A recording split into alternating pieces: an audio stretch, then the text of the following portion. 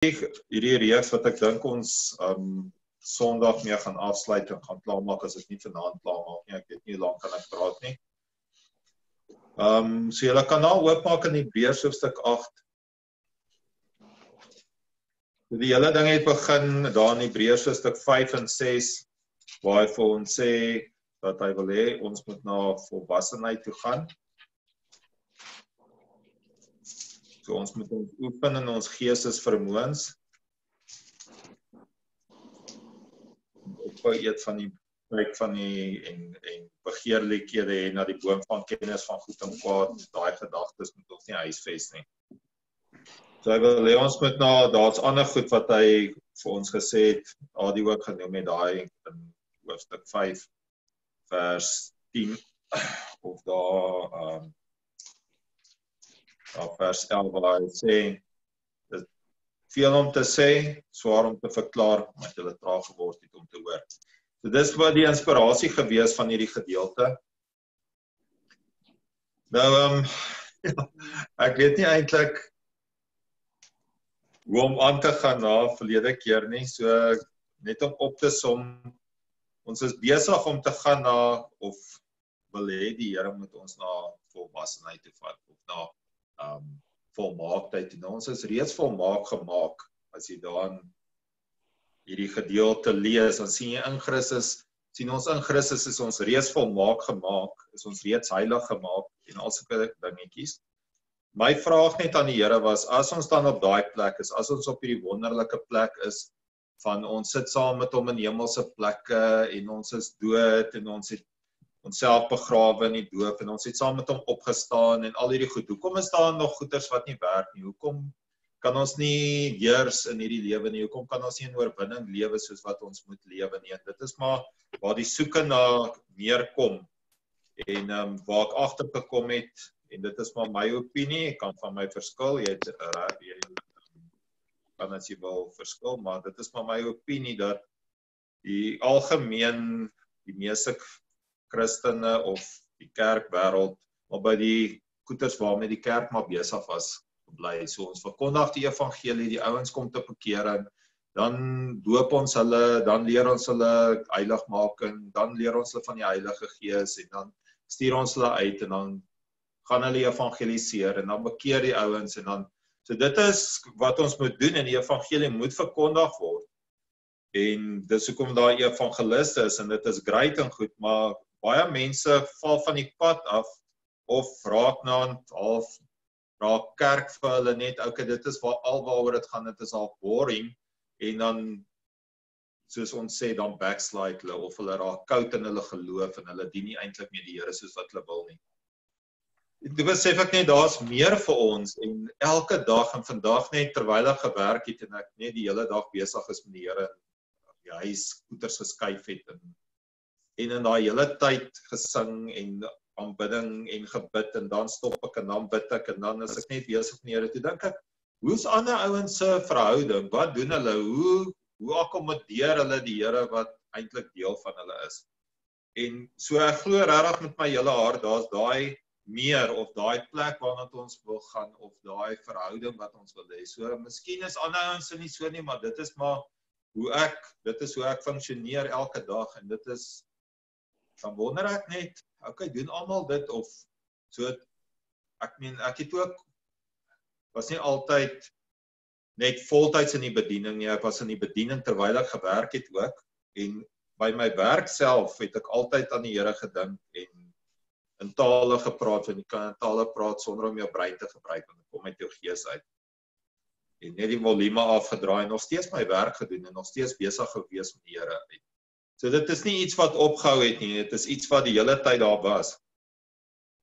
En baie mense sukkel om om dit te doen of daai verhouding te hê om of selfs net op daaglikse weeklikse basis na die Here toe te gaan om met hom te praat.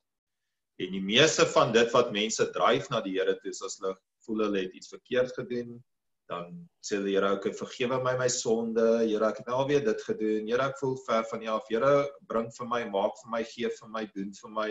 Here my tannie my kind my oom my man my vrou is nou alweer so, Here, los hierdie probleem op en goed. En dis nie regtig die verhouding dink ek wat die Here met ons wou gehad het.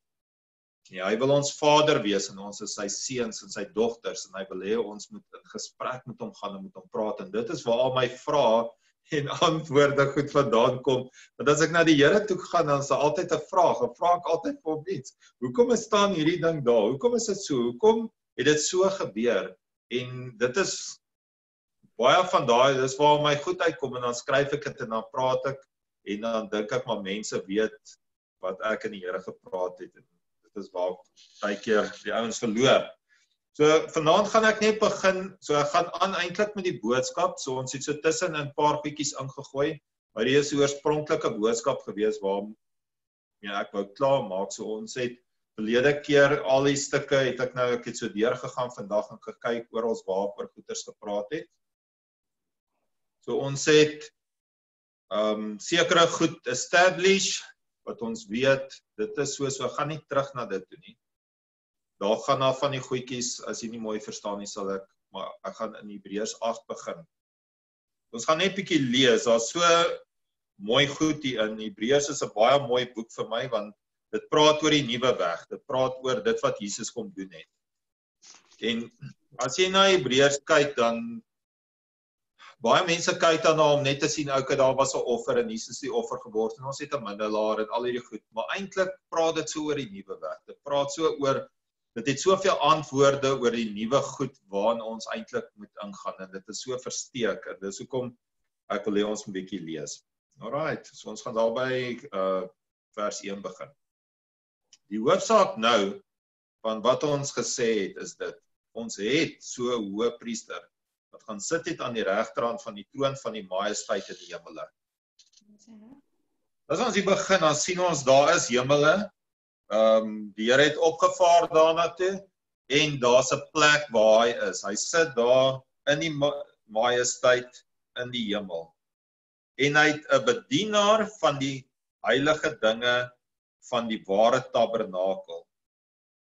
So hy's 'n bedienaar van die heilige dinge en van die ware tabernakel wat die Here opgerig het en nie 'n mens nie.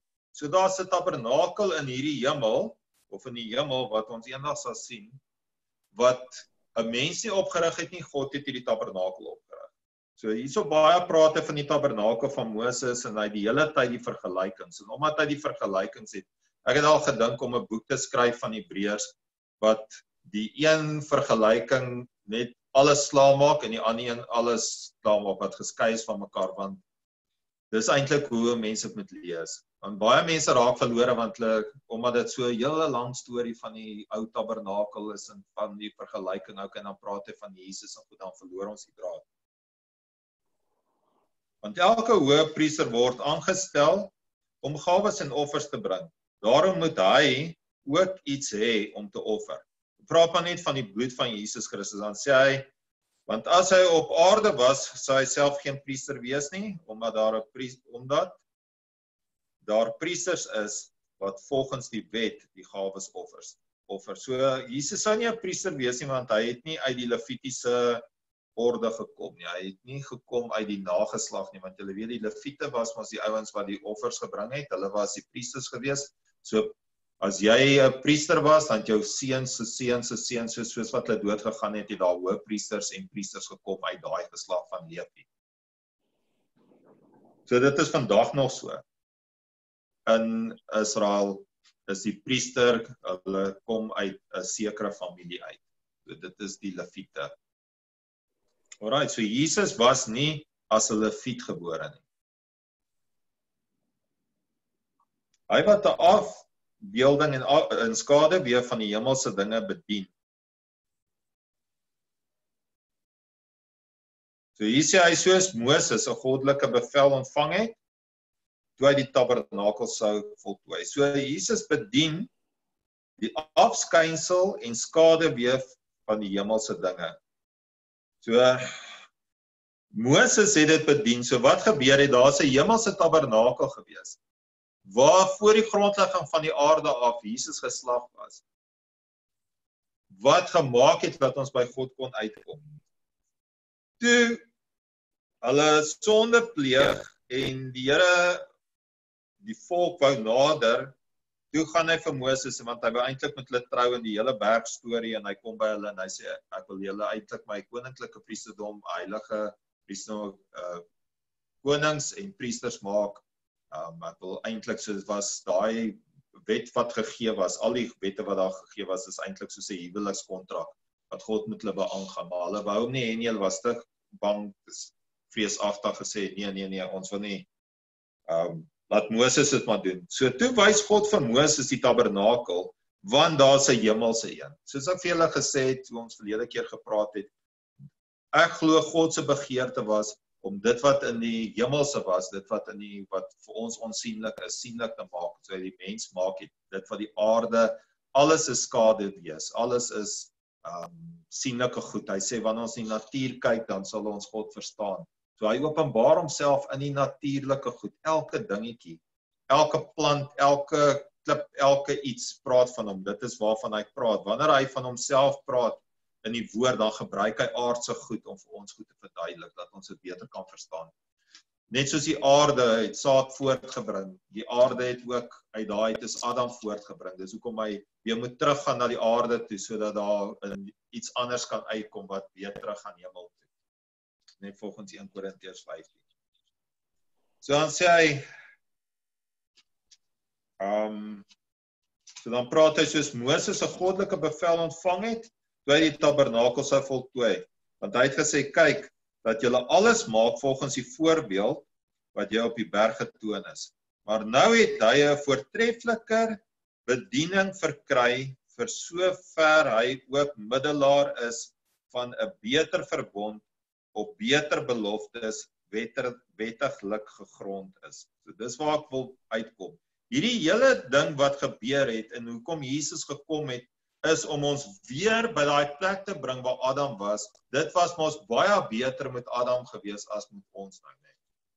Voor hy sonde gepleeg het, het hulle 'n baie lekker tyd gehad. Ek meen hulle het die aarde het opgelewer. Hulle hoef dit nie te bewerk het nie. Hulle uh, daar was nie sonde nie, hulle het met God gewandel in die tuin. Um dit was great. Ek dink dit was fantasties geweest. So dit was baie beter. Hulle het God geken, né? Nee? So toe kom die val. Nou kom die Here en hy herstel dit en ek dis wat ek wil hê julle moet sien want ons ken hierdie stukke en ons lees dit ek meen myne is al stukkend gekrap en geskryf en al sulke goed.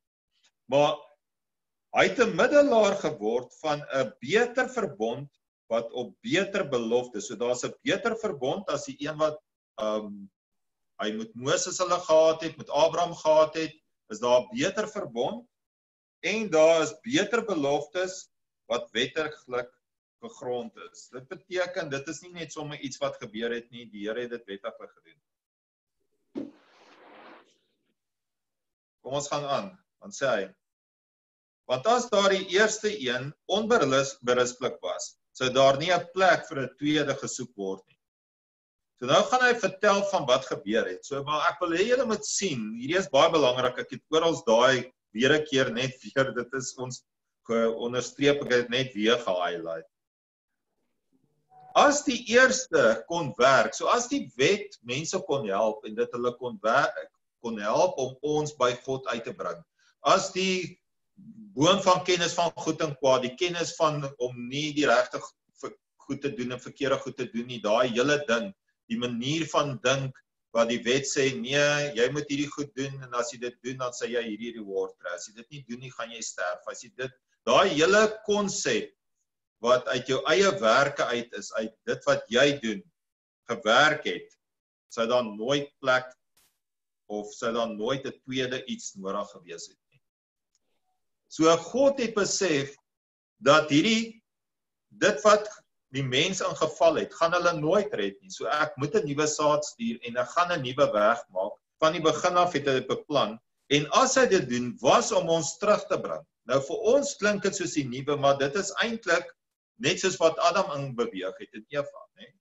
So maar vir ons is dit daai tweede ding wat kom wat die oue wegvat. So vanaand wil ek hê dit is waarop ons fokus. Ek wil daai uitlig want dit is wat mense mis. So ons kom by die Here uit, maar ons bly in die eerste goeders. Ons bly by die eerste beginsels. Ons bly by die eerste manier van dinge doen. En hy sê nee, nee, nee. Kan julle nie verstaan nie dat Jesus het 'n prys betaal om julle uit daai hele ding uit te bring. So ek wil poog vanaand of dit hoekom ek hierdie teaching begin het om ons uit te bring by 'n sekere plek, maar om dit te doen, moet ek vir julle hierdie goed wys want dit is die hulpmiddels wat ons help om ons na daai ander plek toe te vat. Want ons moet ons denke vernuwe, Romeine hoofstuk 12. Nou, waarmee vernuwe jou denke met dit wat ek jou nou net vertel? So denke vernuwe is nie om die ou goed wat nog steeds in die Bybel is te lees en in jou denke te kry nie. Want 2 Korintiërs hoofstuk Ehm um, 3 sê solank as wat jy die wet lees, bly daar sluier oor jou gesig. Verstaan so al sou ek die woord lees en ek lees net die wet en ek lees net die moenies en al hierdie goed en ek lees net o, oh, ek is so sleg. Hoor nou al weer daai, "Joe, my lewe is 'n uh, uh, tragiese lewe. Ek kom net nie reg nie en jy dis hoekom die Here nie vir my luister nie want ja, kyk hierso sê hy, "Ah, oh, my son het 'n skeidsmuur tussen hom en ek is hier in die Ou Testament en ek lees al die goed. O, oh, kyk daar wat het met die ouens gebeur. Dis die alles die woord. Maar dit verander nie my denke nie. Dit dit verstewig eintlik my ou denke. Dit dit um it strengthens my old thoughts and and the the uh uh thoughts of the people daai hele manier van hoe ons funksioneer dit eintlik maak dit al hoe sterker en die en ons dink ja nee ek vernuwe ek vernuwe my gedagtes Bernard ek lees die woord so dit is om die regte woord te kry en ek is so bly Dani en Karen smile vir my nê um dit bemoedig my ek sien daai foto van hulle dit is so lekker glimlag Dis 'n die daar's 'n nuwe verbond, 'n beter erfenis wat daar vir ons is, beter beloftes wat daar vir my is. Maar as ek in die ou goed sit wat my aftrek, dan is dit die woord, maar dit dis verkeerde goed wat ek hoor. Verstaan julle wat ek sê? Mm. So hy sê daar het daar moet 'n tweede gesoek word want die eerste het nie gewerk nie. Nou kom ons gaan kyk verder wat sê hy. Das van hy sê. Want hy berusp hulle en sê, kyk, daar kom daar spreek die Here. Dis nou hierdie nuwe dae of die nuwe verbond, die goed wat gaan hoor wat gaan gebeur. Dat ek met die huis van Israel en die huis van Juda 'n nuwe verbond tot stand sal bring. Nie volgens die verbond wat ek met hulle vaders gemaak het op die dag toe ek hulle aan die hand geneem het om hulle uit Egipte uit te lei nie. So ou hoor soveel preke en goed, jy weet van Egipte. Ja nee, julle is daar want julle is in die woestyn, want julle is net soos die Israeliete in ongehoorsaamheid en julle is al 40 jaar in hierdie woestyn ronddwaal en ons hoor al hierdie preke wat fantastiese goeters is wat ouens uithaal uit die Ou Testament uit. Dit verbaas my. Goed wat ouens Dit is iets wat ek nooit kon verstaan nie. Jy weet ons op Bybelskool was het ons preekkunde gehad. Dit is 'n boek gehad hoe jy leer om te preek en en hoe jy goeters kry en baie ouens kry hulle goed uit die Ou Testament en dan haal hulle 'n stuk daar uit en hulle lees hierdie stuk en hulle preek een spoegspartel sweet afveende warm preek oor die goed wat uit die ou in die Ou Testament gebruik het en dan wil hulle dit op toepassing van ons in ons lewe sit. En dis hoekom die kerk daar is vir hy is. Want dit is 'n wonderlike preek gewees en ons kan opspring en haleluja en ons vee die sweet af en ons spoeg ons en gaan te kere en al hierdie goed in ons en en yes en dit gaan alles oor die ou goed. En dan loop ons uit in die eerste probleem wat voor ons kom. Dan val ons en ons kan niks doen nie want hy het eintlik vir ons gesê ons sit nou in hemelse plek ons heers saam met Christus ons moet hierdie dinge aanspreek ons moet goed doen. Maar wanneer daai ding kom dan dink ek ja nee die pastoor het ons gesê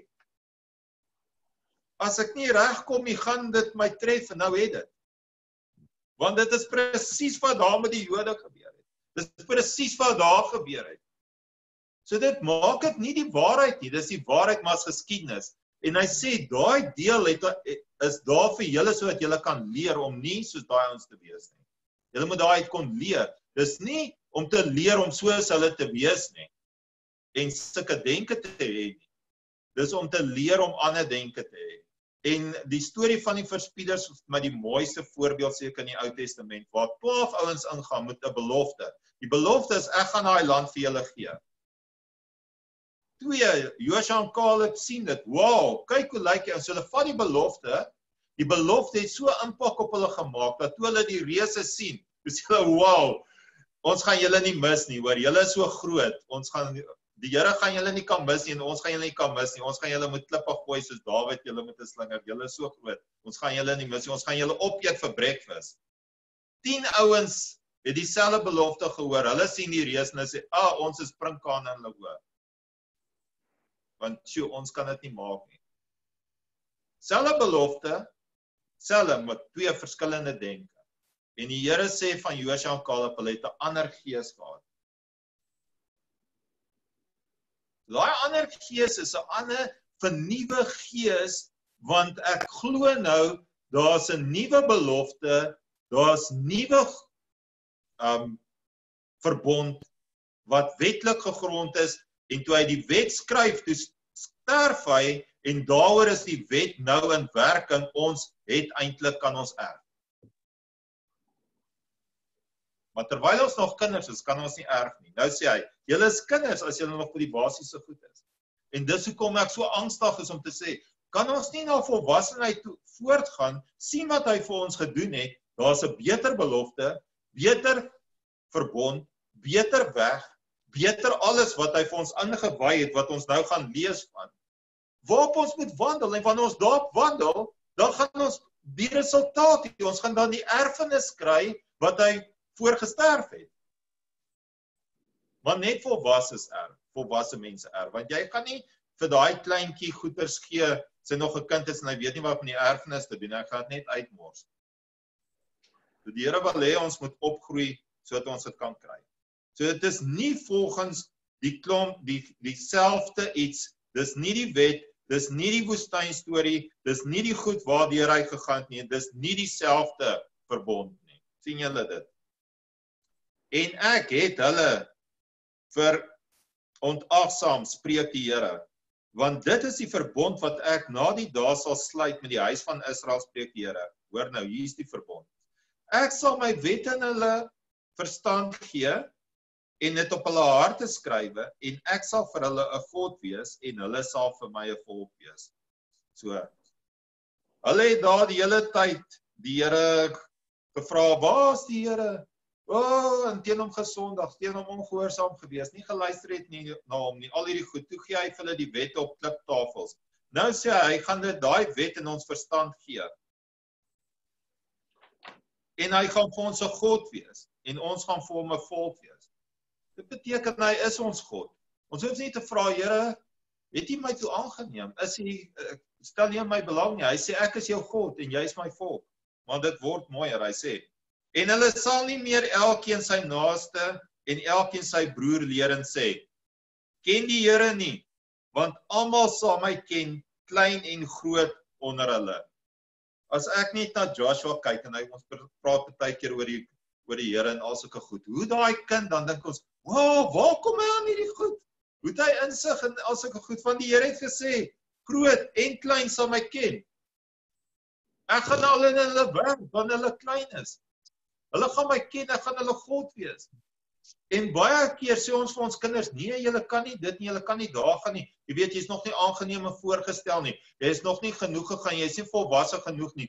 Maar die kinders hier staan. Dis nie ek Bernard wat dit sê nie, hier die woord sê dit. Klein en groot sal my ken. Want ek sal barmhartig wees oor hulle ongeregtighede en aan hulle sonde en hulle oortredinge nooit meer dink nie. Dit beteken in die oue het hy aan hulle ongeregtighede gedink. Hy het vir hulle gesê ek gaan julle straf in die tweede en tot in die derde geslag van die wat my haat. Ek gaan met julle werk. Ek gaan dit aan julle doen. Ek gaan hierdie en hierdie en hierdie doen. Maar ons kan nie vandag daai goed vat nie, sien nie op toepassing van ons nie. Op ons nie. Bernard, nee. Die Here straf ons nog steeds. Ons sien dit elke dag.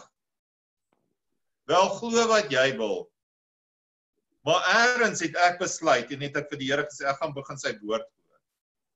So dit beteken daai goed wat met mense gebeur is nie omdat die Here ons straf nie. Want dan lieg hierdie stuk dan moet ons dit maar uitdruk, uitdruk. Nou ek weet nie dalk sê die Engels heeltemal iets anders maar die Afrikaans sê die volgende. En aan hulle sondes en hulle oortredinge gaan hy nooit meer dink nie. Want hy is barmhartig oor ons.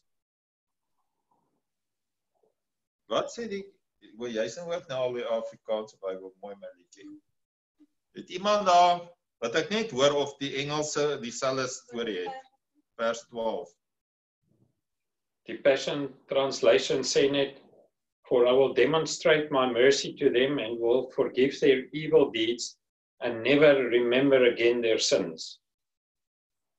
Ja, so hy gaan hy gaan nooit weer aan ons sonde dink nie. Hoor. Dink jy, ja, for I will forgive their wickedness and will remember their sins no more. Ja.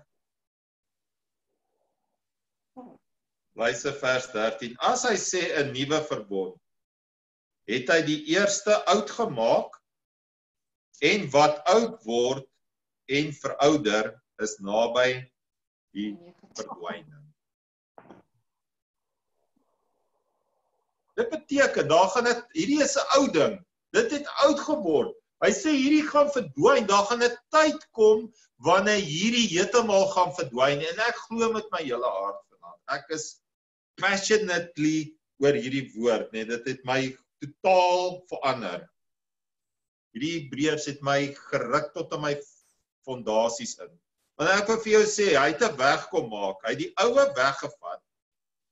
Hy het heeltemal 'n nuwe een gebring en gesê hierdie ou ding wat jy veroordeel het wat julle gesê het hoe sleg jy is, wat gesê het nee, dink die hele tyd net aan dat jy kan dit nie maak nie. En dit is hoekom ek so met jou is. Hoe kan jy die Here se liefde leer ken in so wet?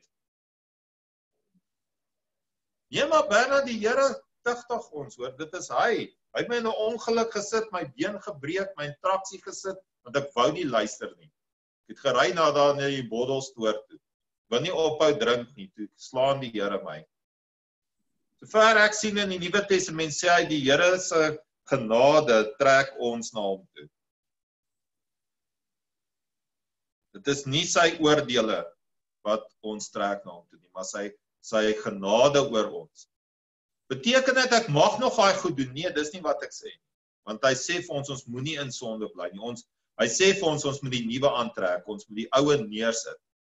Maar in ons gedagtevorming, so ek praat met ons as Christene wat ek glo vol die vir die Here wil lewe, wat sekere goed neersit, wat erken, okay, maar ek moet ophou dit doen. Ek kan nie met dit aangaan nie. So ons ons is konstant besig om aan onsself te werk en te sê Here, ek het nou al weer gedink daai oue se vark nek en 'n sopkop en 'n speknek en het nou dan gelukkig ons ry dan nie meer so baie nie, so ons kan dan ons heilig maak op werk. Ja, as jy nie so baie ouens wat voor ons inry en sulke goed nie. Weet die lockdown het ons goed gedoen het. Ons bietjie ek besef net toe ek gaan ry toe, besef ek hierdie lockdown was te erg want nou kan jy ouens glad nie bestuur nie. Ja, hy is 20 km per uur. Tyd vir my man om te trek klein monte. Yes. Yes. Die tyd is reg.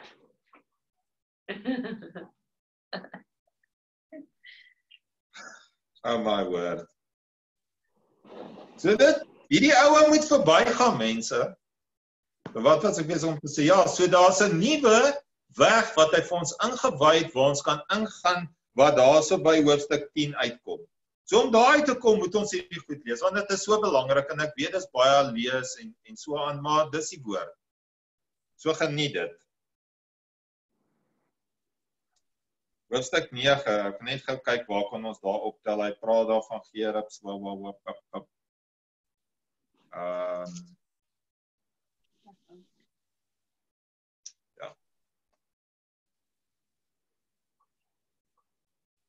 So hy praat maar net daar vers 6 en na hierdie dinge so ingerig was, het die priester wel eh, daarna van die eerste tabernakel aangegaan om die dienste te vervul, maar in die tweede die hoofpriester aan.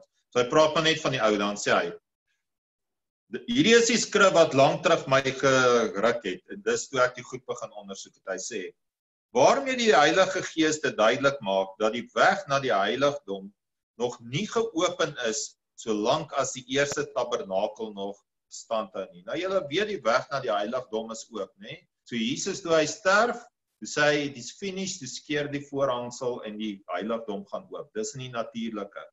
Maar of op die aardse, nie natuurlik nie in die, op die aarde se tabernakel het daar dit geskeer. So Jesus gaan toe, wat ons nou gelees het, hy het toe na die tabernakel toe gegaan wat nie met hande gemaak nie wat in die hemel is. Hy daar sy bloed gaan offer want dit is waaroor hierdie hele gedeelte gaan. Maar nou kom die Heilige Gees en hy sê, maak dit duidelik dat die weg na die heiligdom, so na daai plek toe, nog nie geopen is solank as die eerste tabernakel nog staan hou nie. Verstaan julle dit? Die eerste tabernakel beteken die daai eerste ons kan daai eerste tabernakel laat staan hou. Hoe doen ons dit, Bernard? Wanneer ons in die Aaron orde beweeg.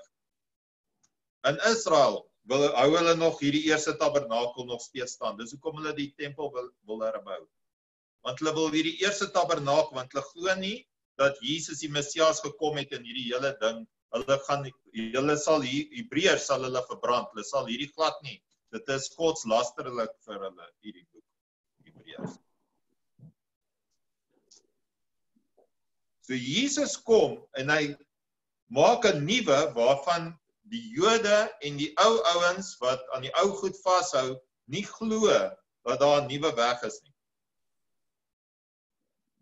So die voorse hangsel het geskeur, maar solank as wat ons in ons denke, solank as wat ons hierdie ou orde hou waarvan hy nou net gepraat het, dit beteken elke jaar moet daar 'n hoofpriester ingaan om vir sonde te offer Nou sê hy vir ons, nee nee nee, Jesus het een keer ingegaan vir eens en vir altyd. Daar is nie nodig dat hy moet in en uit in en uit in en uit en geoffer nie, want hy dis die orde van Melchisedek om een keer dit te doen.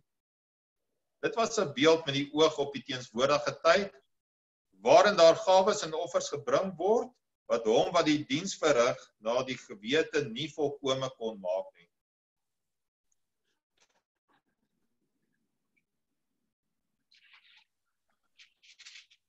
ons wil na daai plek toe gaan waar ons sê okay, ek is volkome, ek is volmaak, ek het by daai plek gekom, ek is volwasse. Hierdie oue kon hulle dit nie kon dit nie regkry nie. Dis hoekom daar 'n tweede moes kom. Omdat net bestaan het in spyse en drank en verskillende wassinge en feestelike verordeninge wat opgelê is tot op die tyd van herstelling Glory, ek gaan nou begin soos die ander ouens begin preek.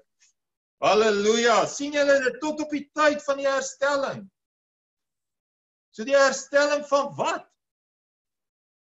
Die herstelling van dit, die posisie van ons voor God sodat ons weer met hom gemeenskap kan hê, sodat ons weer na hom toe kan gaan, sodat ons weer daai een kan wees wat hy wou gehad het ons moes wees.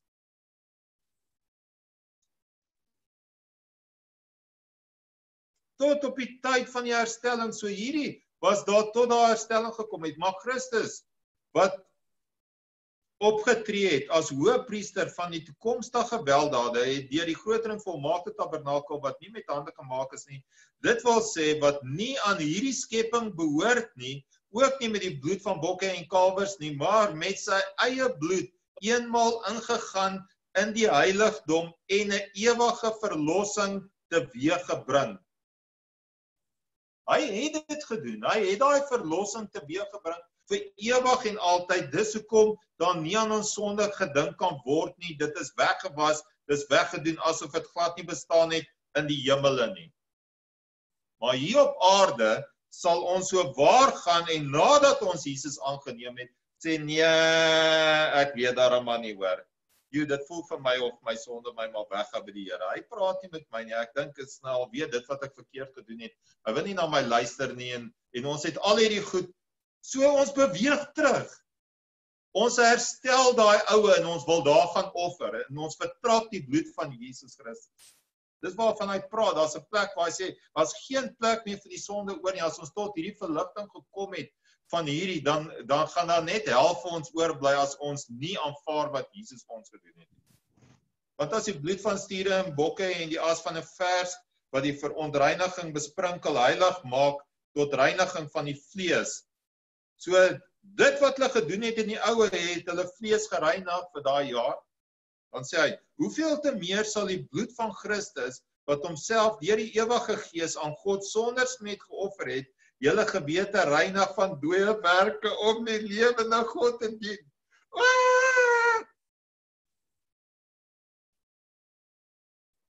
O oh, nee. My kop is maar nog baie vuil Bernard. Hy sê die bloed van Jesus, het hy sy bloed geoffer? Ja, Wat het geoffer in die hemel? Yes. So toe hy dit doen, wat doen dit toe? Dit sê hy het dit gedoen sodat julle gewete gereinig word van dooie werke om die lewende God te dien. Wat die dooie werke? Daai boom van kennis van goed en kwaad wat vir ons sê, "Hey, dit wat jy gedoen het, ek dink jy moet bietjie 'n prys betaal vir daai ding wat jy gedoen het." Hoor? Here gaan jy nie so maklik vergewe nie, hoor en ek ook nie. Vergewe mekaar soos wat Christus julle vergewe het. Hoeveel keer, Here? 7 maal 70 keer. Ehm um, vir dieselfde ding elke dag.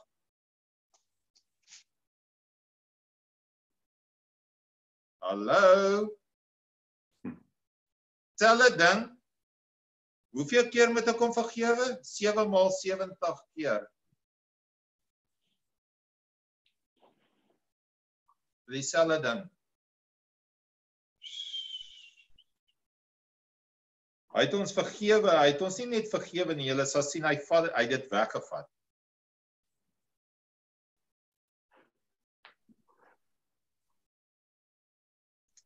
En daarom is hy middelaar van 'n Nuwe Testament sodat terwyl daar 'n dood plaasgevind het van die verlossing van iemand van die eerste tabernakel en dit dit dit beloftes het daai koop van sit te lees. Ek daai kan julle self van lees.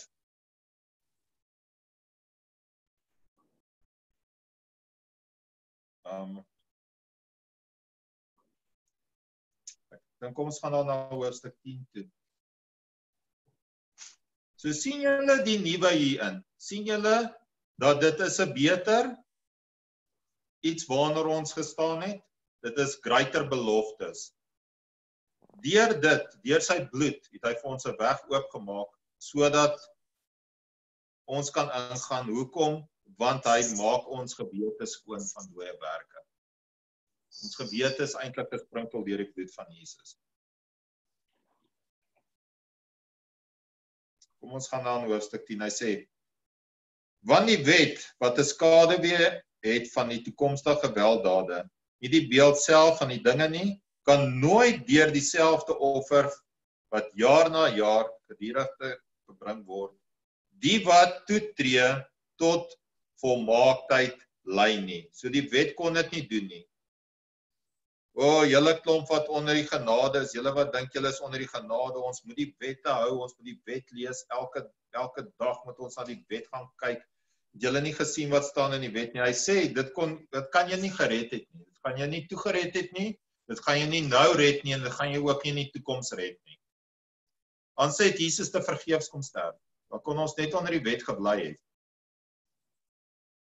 Jy sien ons raak verward omdat ons nog goeie sukkel mee wat werke van die vlees is. Daai werke van die vlees kom maar want daar's 'n begeerlikheid.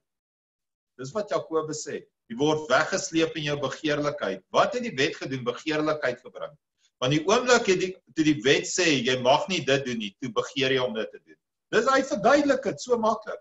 Want dit is die die stronghold in ons gedagte. Sê net vir 'n kind, hoorie? Daar's koekies in die kas, hoor? Jy mag nie nou daarvan kry nie. Ek beloof jou hulle gaan daai koekies haal. Hulle gaan nie luister nie. Jy sal daar kom maar gaan 'n koekie weg wees. Want die oomblik toe jy sê jy mag dit nie doen nie, toe skep jy 'n begeerlikheid in hulle. En die lus vir daai koekie kom daar. En hulle gaan nie wag tot, tot na eet of iets wat jy vir hulle vertel het. Dit is dis hoe die hele ding werk. Dis daai kennis van goed en kwaad gedagtes wat daar is. So dit kon ons nie volmaak tot volmaaktheid bring nie. Dit beteken daar's iets anderste. Wat is iets anderste? Jesus wat gesterf het, wat hy genade en deur sy belofte vir ons die weg kom gee. Dan sê hy: "Anders sou hulle opgehou het om geoffer te word, omdat die wat die diens verrig nadat hulle een maal gereinig is, geen bewustheid meer van sonde sou gehad het nie." Dit beteken dat nou ek moet ons geen bewustheid van sonde meer hê nie. Want dis die sien julle dit raak of praat ek verby julle? Yes, ons sien. Dis reg. Ja, dit beteken nê as die oue dit kon doen, dan sou die oue daar gebly. So wat hy vir ons sê is die oue gaan verbygaan want hy kon dit nie reg kry nie, so gee vir julle nuwe. Want wat gaan die nuwe doen omdat hy nie meer daaraan dink nie, gaan moet ons ook ons gedagtes reinig om van dooie werke deur sy bloed wat ek vir julle toe ons oor die bloed bloedbesprinkeling gepraat het. So as jy gaan dan sê jy Here, dankie vir die bloed van Jesus wat my gedagte reinig van dooie werke. Dit beteken nie van sonde werke nie, van dooie werke. Wat s'ie dooie werke? Daai manier van dink van hoe gaan ek hierdie ding regkry? OK, ek wil hê die Here moet my bless uit my skoene uit. So ek moet nou seker so maak of ek moet so maak. Nee, hy's lief vir jou buitendien hy gaan na jou kyk. Hy sê ek die blomme van die veld saai nie hulle maai nie bring nie bymekaar in skure nie en tog sorg julle hemelse Vader vir julle. Dit gaan nie om dat jy iets doen wat fantasties is, hoekom hy na jou kyk nie. Jy doen dit uit verhouding, nie uit 'n wet nie. So dit het nou verhouding geword, dit het nie 'n wet geword nie. Hoekom is ons met ons vrouens getroud mans omdat ons 'n wet het wat gesê het jy's daai dag getroud? Nee, want jy wil 'n verhouding hê. Ek haal nie die die die papiertjie elke keer as ek check hierdie papiertjie sien jy ons is getroud. En op grond van hierdie papier moet jy nou dit of dit of dit. Wat 'n patetiese huwelik sal dit nie wees nie, hè? Sal julle dit ons sal dit like. Nee, nee, nee, nee. Jy gaan omdat jy in 'n verhouding is en ja gesê het, lewe jy uit daai verhouding uit.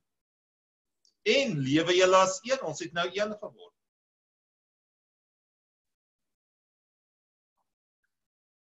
So hier is baie belangrik. Hy daar sou dan geen bewustheid meer van sonde gewees het nie, nê? Maar in die offer daar jaar na jaar herinnering aan hulle sonde. So omdat hulle geoffer het, so as jy iets wil doen en sê nee, die Here kan my nie vergewe nie, dan gaan jy die hele tyd aan sonde dink. Want die bloed van stiere en bokke en die uh wat ek net weer by die regte plek en dan die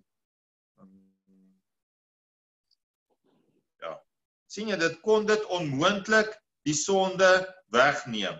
Vers 5. Daarom sê hy hier ons moet hier baie mooi oplet. Ek dink nou al waar is die tyd en ek wil jaag so ek gaan net hierdie stukkie lees en dan gaan ons maar daar klaar maak. Maar op grond van alles wat ons gedoen het, luister nou na hierdie wat hy sê en dan sien jy die doel hoekom Jesus gekom het was absoluut net vir dit was om ons verhouding reg te maak met die Vader.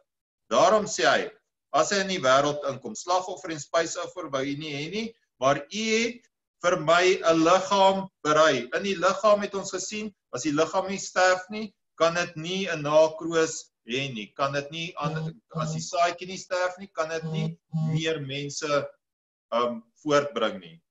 Dit kan nie 'n oes kry nie. Waarvan ons sy nakroos is, toe hy ons sien toe gaan hy met blydskap na die kruis toe. Brandoffer en sondoffer het U nie behaag nie. Toe het ek gesê, kyk, ek kom. In die boekrol is van my geskrywe om U wil te doen, o God.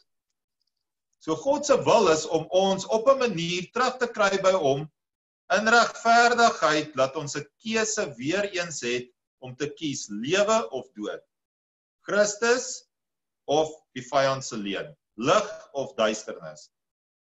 Om u wil te doen, o God. Luister mooi, hy sê, nadat hy hierdie gespreek het, slagoffer en spysoffer en drank of 'n sondoffer wou hy nie hê nie en het u nie behaag nie wat volgens die wet geoffer word. Het hy daarna gesê, kyk, ek kom om u wil te doen, o God, weer 'n keer. Hy neem die eerste weg om die tweede te stel. Dis sy wil. Sy wil was om daai eerste weg te vat. Wie's ons? Wie gee ons die reg om nog steeds daai eerste in te sleep? Om dit so te koester en vas te hou. O nee, ons wil nog die ou weer hê. Nee, hy sê daar's 'n nuwe weg. Hy die oue klaar gemaak mee. Dit is in die verbygaan. Dit is dan hoof. Forget it. There's a new way. Deur hierdie wil is ons geheilig. Wat se wil? Hy het die eerste een weggevat wat ons onheilig het en die tweede een gestel wat ons geheilig het. Want in die tweede is ek geheilig. Ek word nie heilig omdat ek werke doen of nie doen nie. Nou word ek al hoe heiliger nie. Soos wat party ons ons probeer leer nie en sê nee as jy dit en dit en dit dan gaan jy heilig word. Jy moet heiligmaking na. Nee, ek is klaar heilig. Daar sê hy dit. Wanneer het hy die eerste weggeneem en 'n tweede gestel in sy kruis? Deur hierdie wil, dis daai wil waarvan hy praat. Is ons geheilig deur die offer van die liggaam van Jesus Christus net eenmaal. Oeg. Dan praat hy maar net weer van die priester wat daar staan dag en dag en dag. Wat sê hy vers 12? Maar hy het nadat hy een slagoffer vir die sonde gebring het, vir altyd gaan sit aan die regterhand van God en wag nou verder totdat sy vyande gemaak word 'n voetbank van sy voete. Want deur een offer het hy vir altyd volmaak die wat heilig word. Hy het ons altyd volmaak die wat heilig word. Hoe word jy heilig? Deur te glo dat hy die offer is wat betaal het eens en vir altyd vir eenmaal gaan sit het aan die regterhand van God. En wanneer word die vyand 'n voetbank van ons voete? Wanneer ons dit begin glo met alles wat in ons binneste is. Dat daar regtig 'n nuwe weg is en ons begin daai weg te bewandel. En wanneer die vyand kom en ons wil sleg maak dan sê ons vir hom daar's die deur. Het, het jy Hebreërs gelees. Gaan kyk bietjie wat daar staan Jy is klaar want daar's 'n weg vir my. Ek gaan na daai plek toe wat die Vader vir my het. Ek gaan daarin loop. Nee, maar jy kan nie daaraan gaan. Weet jy nie jy het die hond geskop nou nou nie? Weet jy nie jy het dit gedoen nie? Weet jy nie as sê man, get away.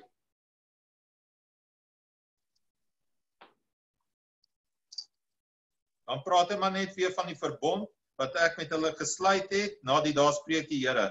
Ek sal my wette in hulle gee in hulle harte en in hulle verstande sal ek in hulle verstand en ek dit ingeskrywe. En aan hulle sonde en hulle ongeregtighede sal ek nooit meer dink nie want waar daar nou vergifnis van hierdie dinge is is daar geen offer meer vir die sonde nie.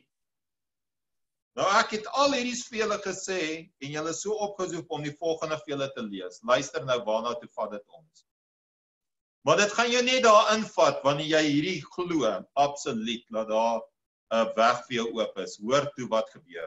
Terwyl ons dan, so hulle vat hierdie hele ding want dit is 'n brief wat geskryf was, né? Broeders, vrymoedigheid het. Hoekom het hulle vrymoedigheid? Want hulle het dink nie aan hulle sonde nie, dis weg. Om in die heiligdom in te gaan deur die bloed van Jesus, nie deur my werk of my goedheid nie, deur dit wat hy gedoen het nie. Op 'n nuwe So dit was nog nooit bewandel nie. En 'n lewende weg wat hy vir ons ingewy het deur die voorhangsel heen. Dit is sy vlees en ons 'n groot priester oor die huis van God het. Laat ons toetree met 'n waaragtige hart en volle geloofsversekerheid. Die harte deur besprinklik gereinig van 'n slegte gewete in die liggaam gewas met rein water. Laat ons die belydenis van die hoop onwrikbaar vashou want hy wat beloof het is getrou. En laat ons op mekaar ag gee okay. So sien julle daar gaan ons in daar tree hulle in in die heiligdom met alle vrymoedigheid en dis waaroor ons gaan praat daai heiligdom wat daar gaan gebeur So ek hoop vanaand het ons bietjie gehelp om vir ons te wys. Ek het nie eers by die tweede vers uitgekom nie. Ek is ons is nog steeds in Hebreërs 8. Maar ons gaan hierso stop. Want anders se gaan ons middernag ophou as ek na Efesiërs toe gaan en ek gaan na Kolossense toe wat vir ons dieselfde sê. Maar mag ons net uit daai stukkie, ek weet dit was bietjie gelees, maar dit was sodat jy daai stukke kan highlight en dit kan sien en dit kan uithaal en kan sien maar daar's 'n nuwe verbond, 'n beter verbond. Daar's beloftes wat hy vir ons het wat gegrond is op daai beter verbond wat hy vir ons het. En dit is ek gaan nie aan julle sonde meer dink nie. Ek gaan julle nie meer oordeel volgens dit nie. Ek het vir julle weg oopgemaak. Hoekom sê hy dit doen as hy nie wil hê ons moet daaraan toe kom nie? As sodra ons iets verkeerd dan sê, "O, oh, nee. Jy jy kan nie na my toe kom nie want jy het verkeerd gedoen." Ons moet nog steeds reg wandel want hy sê as ons so lewe, moet ons so wandel. Trek die nuwe aan. Sit die ou neer. So daai goed is daar. Maar in my gedagte moet ek weet daar's 'n oop deur vir my. In my denke moet ek weet die oue is verby. Ek kan nie daai weg mee wandel nie. En daai weg is die bekende weg. Daai weg is die breë weg. Daai weg is waarmee ons groot geword het. Daai weg is die een waar die vyand ons mee dag en nag wil aanval en besig hou en daai denke sal hy oor en oor na jou toe bring. En die vernuwe is om te sê, daar's 'n nuwe weg. Ek gaan daai weg bewandel. Dis moeilik om hom te vind, maar ek gaan hom vind. Ek gaan deurdruk en ek gaan sien wat het Jesus gedoen. Hy het daai weg vir my gewandel, so hy het vir my sonde betaal en ek gaan op daai weg loop. Ek gaan vaar wat hy vir my gedoen het en ek gaan na hom toe gaan asof ek nie iets verkeerd ek het nie 'n bewustheid van sonde meer nie. Want dis wat hy daar sê. Amen. Mag hierdie stukkie net vir jou vanaand inspireer om in 'n paai nuwe te wandel. Vader ons sê vir U dankie vir U woord. Dis nie my woord nie, is U woord. En as ons net meer en meer en meer daar in Hebreërs lees, dan sien ons wat U kom doen het. Ek sê vir U dankie vir Jesus. Dankie vir dit wat hy op die kruis so duur voorbetaal het. Nie net om ons sonde te vergewe en dan doen ons dit en dan vergewe hy dit en dan doen ons dit en dan vergewe hy dit nie, maar hy het gesê ek gaan dit heeltemal wegvat sodat jy nie eers daaraan kan dink nie en 'n bewustheid daarvan het nie want ek het nie 'n bewustheid daarvan nie. So moenie dink ek behandel jou so nie. Ek het klaar my met vir jou met jou versoen. Kom versoen met my. Kom na my toe. Almal wat vermoeid en belas is. Ek sê hulle rus gee. Kom en wees deel van my. U is dan deel van ons. Ons moet net besluit om deel van U te wees en in U te lewe soos wat U in ons lewe. Dis wat U klaar gesê het. Mag dit vir ons 'n meer en 'n groter werklikheid word. En ons gaan Sondag na Pinkster toe waar U die Gees uitgestort het duisende jare terug om dit te bevestig as 'n seël dat ons nie meer sonde het nie, weggedoen met dit want hoe kan die Heilige Gees in sonde kom lewe? In 'n plek wat enigsins sonde het want U is heilig. Maar U het ons heilig gemaak deur Jesus en En Sondag wanneer ons bymekaar kom, gaan ons hierdie laaste deel doen waar ons instap in en Frans laat ons nou al opgewonde sal wees om in daai plek in te gaan wat U vir ons berei het. Van ons gaan al daarin, van ons gaan nie. Maar my gebed is vanaand Here dat ons daai ondervinding so sal hê, 'n bonatuurlike ondervinding. Ons sien uit daarna in Jesus se lieflike naam. Amen.